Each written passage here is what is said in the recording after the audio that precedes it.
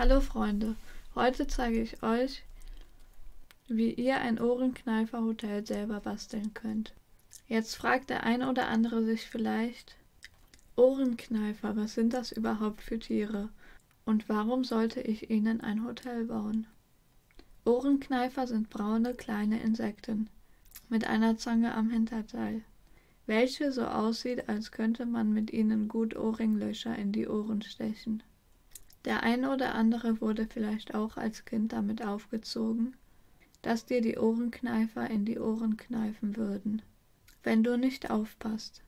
Bei mir waren es meine Zwillingscousins, die mir diesen Floh ins Ohr gesetzt haben. Und im Garten sind es außergewöhnlich gute Nützlinge, welche vor allem Blattläuse und Spinnmilben verspeisen. Ein einziger Ohrenkneifer schafft 50 Blattläuse pro Nacht und eignet sich somit tausendmal besser als ein chemisches Insektenschutzmittel für den ökologischen Nutzgarten. Kommen wir nun zu dem Aufbau dieses Ohrenkneifer-Hotels. Hierfür brauchen wir einen Blumentopf, entweder mit oder ohne Loch. Und ob Keramik oder Terrakotta ist ebenfalls uninteressant. Für den Blumentopf mit Loch brauchen wir einen schmalen Stock. Für den Blumentopf ohne Loch brauchen wir noch ein Kartoffel- oder Zwiebelnetz und ein wetterfestes Klebeband. Außerdem brauchen wir für alle Blumentopf-Varianten ein Band, um dieses festzubinden. Und natürlich brauchen wir noch das passende Werkzeug, um diese zu bearbeiten. Jetzt schneidet man für den Blumentopf mit Loch vom Stock zwei Stücke ab.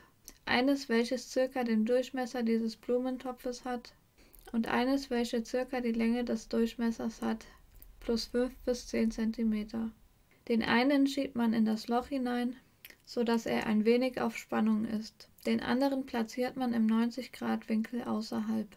Jetzt bindet man beide fest und zwar so, dass an dem einen Ende nur noch kaum Seil übrig ist, während das andere mindestens noch 70 cm lang ist und man es durch das kleine Abflussloch schiebt.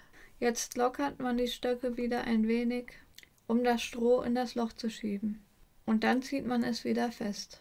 Jetzt kann man dieses Ohrenkneifer-Hotel an einen Baum hängen. Bei der zweiten Variante des Ohrenkneifer-Hotels gehen wir etwas anders vor.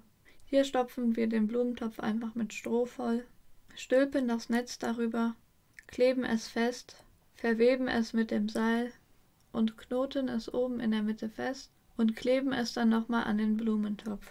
Jetzt kann man es ebenfalls an einen Baum hängen. Ich hoffe, dieses Video hat euch gefallen. Ich freue mich über jeden Like und jeden Kommentar. Lasst auch gerne ein Abo da.